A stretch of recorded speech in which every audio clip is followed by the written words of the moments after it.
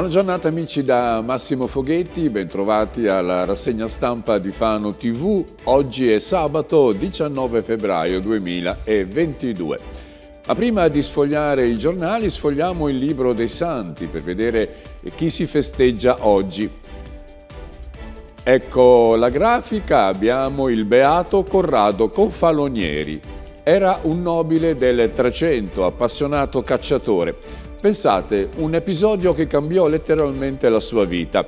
Un giorno, per stanare la selvaggina, diede fuoco alla macchia eh, che circondava appunto una zona molto protetta. Lo voleva fare per stanare la selvaggina Ebbene, eh, le fiamme si svilupparono a tal punto tanto che investirono campi, colture e raccolti appunto dei contadini. Di questo fu accusato un contadino che fu condannato a morte. Il giorno del supplizio Corrado però non resistette dal non confessare la sua colpa e salvò l'innocente.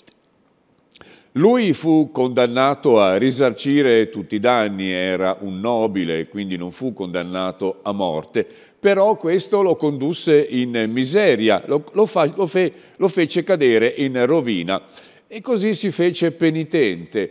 Insieme alla moglie, che poi entrò in convento, lui girò un po' in tutta Italia finché non giunse in Sicilia dove visse da eremita e compì tante opere buone. Eh, fu così che lì morì in terra siciliana, dove le sue spoglie riposano nella Basilica di Noto. Questo è il Beato Corrado Confalonieri. Ed ora procediamo con le condizioni del tempo. Vediamo che la situazione nelle Marche eh, è un po' incerta, abbiamo cieli velati ma una nuvolosità in aumento in giornata con piovaschi specialmente nella sera sul Pesarese. Le massime arriveranno sui 15-16 gradi, le minime si attestano sui 9 gradi, quindi abbiamo una temperatura piuttosto mite. I venti spireranno sulle coste da est e sud-est, sull'interno con una forza debole da nord-est. Ed ora apriamo il resto del Carlino sulla pagina di Fano. L'apertura è dedicata alle barriere architettoniche, un problema eh, difficilmente risolvibile perché ce ne sono tante in città. Strade groviera, percorso a ostacoli per i disabili. C'è un reportage che ha effettuato il resto del Carlino coinvolgendo Massimo Domenicucci che è il presidente della piattaforma solidale che si occupa di promuovere le tematiche dell'accessibilità e dell'inclusione eh, per quanto riguarda coloro che si muovono in carrozzella. Beh, ci sono diverse, eh, diversi problemi per costoro. Fano purtroppo è una delle realtà in cui il problema dell'accessibilità è molto presente, ha detto Domenicucci. Molte strade, anche del centro storico, sono impercorribili perché presentano molte zone dissestate e molte buche. La pavimentazione con il porfido largo, se non ben mantenuta, dà problemi seri alla colonna vertebrale di chi si muove in carrozzella perché continue sono le sollecitazioni. In più, quando la carrozzina si impunta nelle buche è difficile poi rimetterla in movimento. E insomma un problema che dovrebbe essere eh, risolto. Il Comune ancora non ha approvato il PEBAB, il MEBAB, insomma mm, è un eh, progetto per quanto riguarda l'abbattimento, il PEBAB, eh, l'abbattimento delle barriere architettoniche e qui siamo un po' in ritardo. E poi il giornale analizza gli altri problemi che sono alla ribalta, come per esempio quello della pista ciclabile dell'Arzilla, per cui l'associazione naturalistica Lupus in Fabula ha, ha presentato una diffida all'amministrazione comunale. L'associazione attraverso il proprio legale chiede agli enti di annullare gli atti e i provvedimenti adottati. La richiesta di annullamento riguarda la stessa gara di appalto che è stata assegnata eh, gara che secondo Lupus in Fabula sarebbe stata indetta sulla base di un progetto tecnico che viola, violerebbe quanto deliberato dal Consiglio Comunale nel 2018 che non prevede la riduzione dell'ampiezza della pista ciclabile per la conservazione del maggior numero possibile di piante. Insomma ci sono diverse eccezioni, specialmente anche quella delle cestonate che fa Lupus in Fabula e fanno anche altri ambientalisti come il Comitato appunto per una viabilità compatibile. Ieri è stata presentata l'attività del Paricentro, la nuova istituzione dedicata in modo particolare alle donne ma anche a tutti, che è stata aperta in via Montevecchio a Fano. L'assessore Cucchiarini dice non è un centro antiviolenza né uno spazio di presentazione, è molto di più, e anche questo ovviamente, ma è molto di più. Tre sono in modo particolare i servizi che sono stati annunciati. Il primo è quello di una consulenza legale gratuita, gratuita alle donne che hanno dei problemi il secondo è quello della integrazione per quanto riguarda le persone immigrate che vengono nella nostra città oppure anche persone che non riescono a relazionarsi con gli altri. Il terzo invece è un problema che riguarda i diritti del lavoro, la difesa dei diritti del lavoro e in questo caso è stata implicata anche la CGL. Dunque un servizio eh, aperto a tutti in maniera gratuita in via Montevecchio nei pressi dell'Episcopato, insomma siamo lì eh, in quella zona del centro. E per quanto riguarda invece le contestazioni per la cabina elettrica che dovrebbe essere installata in via dello Squero, parte una raccolta di firme contro appunto questo provvedimento. Da quanto emerso nell'incontro di giovedì scorso sarebbero rimasti in gioco due siti, Via dello Squero e la vicina piazza Calafati, ma entrambi questi siti non vengono giudicati idonei da parte dei residenti e quindi questi sono ancora di più sul piede di guerra e vedremo come andrà a finire questa storia. Passiamo alla Val Cesano. Positivi più che dimezzati nei comuni cesanensi e quelli appunto che sono stati giudicati, considerati positivi al Covid. Sono passati da 1194 dal 4 febbraio scorso ai 556 di ieri, sono veramente dimezzati. La percentuale più alta si è registrata a Pergola, al secondo posto c'è Monteporzio. Sono numeri incoraggianti, questi un po' anche dappertutto, non solo appunto in questi due centri, ma che comunque non devono far abbassare la guardia, perché insomma il Covid è sempre lì in guardia, in attesa, se vede uno spiraglio ci si inficca dentro. Bilancio la minoranza, il sindaco non ci ha coinvolto a Mondavio, il leader del gruppo Mondavio Città Nuova, Girolamo Martino, critica Zenobi per quanto riguarda appunto la redazione del bilancio della cittadina eh, metaurense.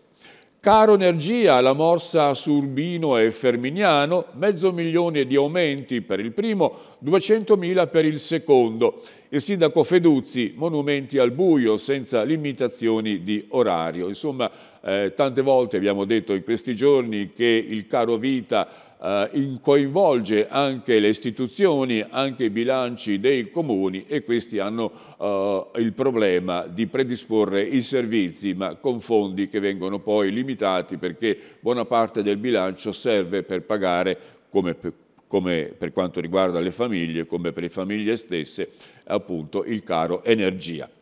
L'arte spiegata gratis agli operatori sanitari a Durbino è una iniziativa questa delle guide turistiche che parte domani e poi si prolunga anche fino a lunedì. Sono compresi tra i fruitori anche le forze di polizia e i volontari conoscere la propria città, conoscere i monumenti, la sua storia, per poi illustrarli ai turisti, ai visitatori, ma anche agli stessi cittadini, è una prerogativa che viene incentivata appunto dalle guide turistiche.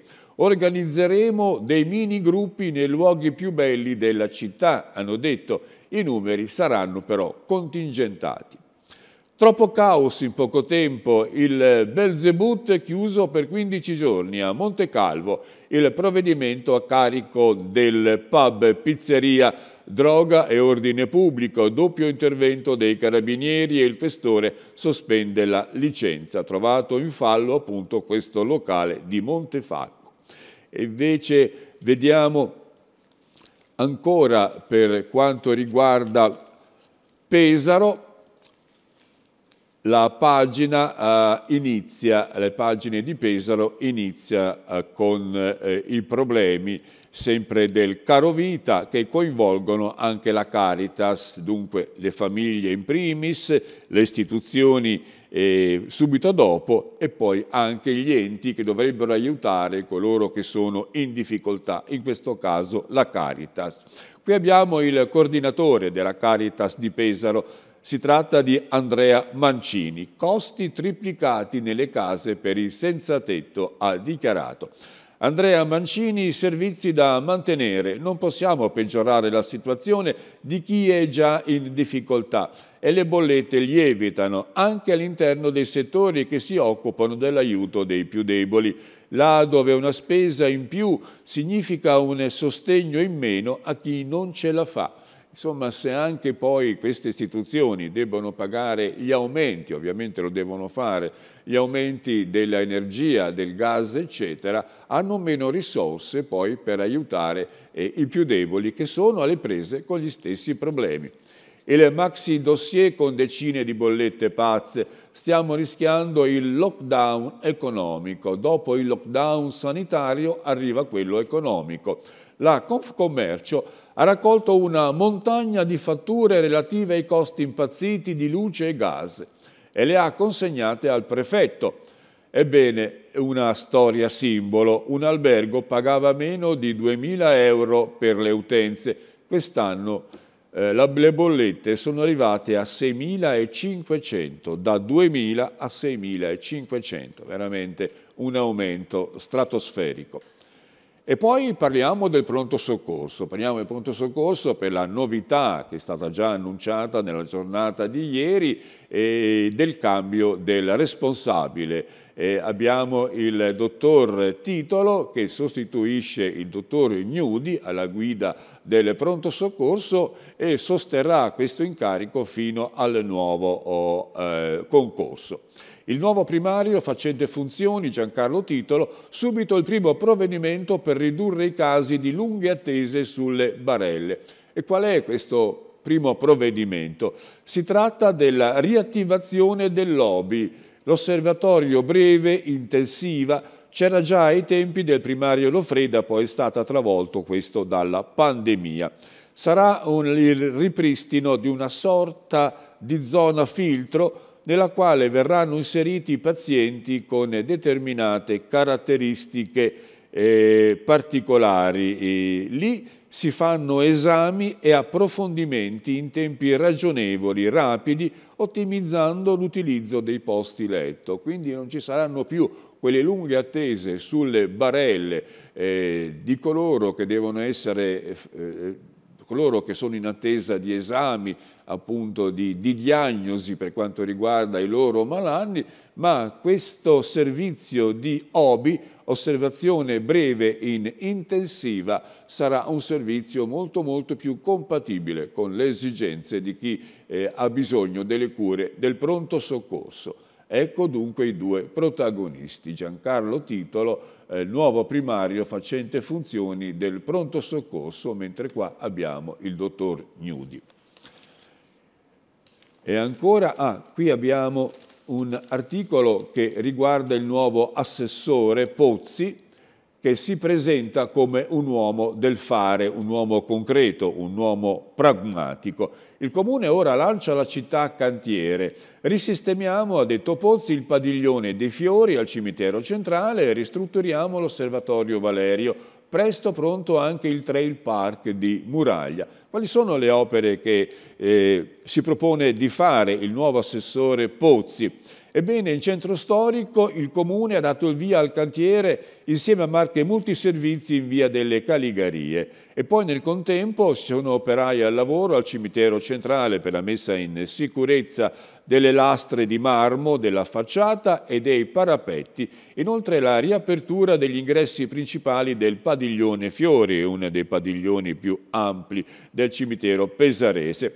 A Muraglia si completa il Trail Park con 50.000 euro di lavori e poi si ripristina la strada di San Donato di Ginestreto, interessata da una frana. Ancora prendendo anche, stanno prendendo forma anche le opere straordinarie la manutenzione della casa delle associazioni nel parco Miralfiore. Infine c'è l'atteso cantiere della lottizzazione Vigna Rossa a Pozzo Alto. Si tratta di un completamento delle opere di urbanizzazione per 683 mila euro con lavori che termineranno entro il luglio prossimo, nel luglio del 2022. Chiede 30 euro per le scarpe, gliene spillano 1750. Leggete con attenzione questo articolo del Resto del Carlino perché si parla di truffe. Si parla di truffe che non cessano mai, truffe online, truffe in tutti i modi. C'è una grande fantasia da parte dei malviventi per escogitare il modo di spillare soldi alla gente, alla gente che poi si fida. In questo caso una donna voleva racimolare 30 euro dalla vendita di un paio di scarpe, però ce ne ha rimessi 1750. Un uomo ha creduto a due finti bancari e ci ha rimesso 50.000 euro. Fate attenzione, sono due esempi questi di truffa più che eclatanti che i carabinieri hanno segnalato negli ultimi giorni a conferma di un fenomeno, le truffe online, che ormai è una piaga sociale. Insomma, ci si casca sempre, anche se uno dice io non crederò mai alle offerte che verranno oh, pubblicizzate, promosse sul web. Un altro articolo di cronaca, si spacciano per poliziotti e perquisiscono cinque ragazzini alla sbarra due pesaresi. Si tratta di due ragazzi, uno di 22 e l'altro di 28 anni, che sono finiti a processo con le accuse di sostituzione di persona e violenza privata eh, per un fatto che si è, si è realizzato, insomma è stato nel giugno del 2020 nel parcheggio del Genga al campus. Così per divertimento hanno perquisito cinque minorenni spacciandosi per poliziotti. E poi vediamo eh, vediamo oh, a questo punto questo articolo che riguarda Tavuglia, frane e scuole, ecco le priorità di questo centro. È stata approvata una variazione di bilancio per 2 milioni e 700 mila euro. Si punta a risolvere il dissesto del territorio e a realizzare la mensa alla primaria di Padiglione. Sono iniziative assunte dal sindaco Francesca Paolucci eh, che appunto eh, ha enunciato i provvedimenti per il 2022. A questo punto passiamo al Corriere Adriatico. Sulla pagina di Fano vediamo che l'apertura è dedicata alla, alle attività del Pari Centro consulenze legali, donne migranti e lavoro, i tre servizi principali che verranno erogati da questa struttura, tre sportelli per garantire parità e diritti. Sono state presentate nella giornata di ieri in conferenza stampa eh, queste iniziative con il supporto della CGL. Prossimo step una sede del CAV, ovvero del Centro Antiviolenza. Pessimo scaricabarile tra Giunta e Aset, una dichiarazione del, mm, del rappresentante della Lega eh, anche eh, capogruppo in Consiglio Comunale, Luigi Scopelliti, eh, il quale chiede un atto ispettivo urgente sulla vicenda della cooperativa Contatto, il cui contratto con l'ASET è stato appunto terminato, chiuso e questo ha causato eh, la, il ritiro dal lavoro di cinque persone, di cui tre disabili. Insomma, un provvedimento che ha destato un po' il rammarico e le proteste di diverse entità, compresi anche alcune componenti del Consiglio Comunale. Una simulazione per verificare il vero impatto della centralina, L'esperimento in programma nei giardini di Via dello Squero e in Piazzale Calafati e c'è anche chi propone, come Vincenzina Turiani, l'interramento dell'intera struttura, il che taglierebbe la testa al toro e quindi si eliminerebbe ogni impatto ambientale. E poi abbiamo ancora qui una protesta di due professionisti ambientalisti. Si tratta degli architetti eh, Roberti e Fiocco, il quale contestano l'amministrazione comunale per quanto riguarda il progetto di parcheggio nell'area verde che si trova tra Via Giustizia e il cimitero oh, centrale. Eh, un'area verde ancora allo stato naturale che verrà poi eh, così cementificata per quanto riguarda il parcheggio. È una delle poche aree verdi rimaste al limite della città perché, eh, perché insomma snaturarla, snaturarla per quanto riguarda interventi che poi potrebbero essere evitati secondo appunto questi ambientalisti. Invece a fondo pagina abbiamo un intervento dell'amministrazione comunale per quanto riguarda la scuola media Nuti, una riqualificazione energetica, eh, verranno eseguiti lavori per 3 milioni e 600 mila euro, verrà realizzato un cappotto sulla facciata esterna, un tetto caldo sull'estradosso della copertura originale, verranno sostituiti tutti gli infissi e poi ci sarà una ventilazione controllata che mitigherà uh, la temperatura, l'umidità e le emissioni di CO2. Infine il comfort interno nelle aure eh, verrà, verrà aumentato grazie a un appropriato ricambio dell'aria. Insomma, alla fine verrà sostituita anche la centrale eh, elettrica e verranno sostituite le lampade a fluorescenza in lampade a LED, dunque un intervento considerevole alla scuola media Nuti, che è la più antica della città di Fano, infatti è l'erede del primo istituto che è stato realizzato nel 1862, due anni eh, dopo l'unità d'Italia. Pensate la eh, vetustà di questo istituto.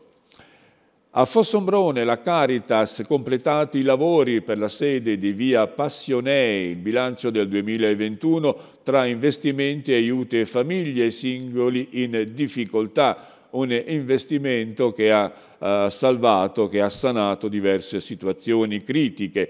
Nel corso dell'anno i volontari hanno incontrato 98 persone, di cui 15 presentatesi per la prima volta, per un totale di 131 colloqui. Nei confronti dell'anno precedente si registra un andamento poco più che costante della frequenza delle visite.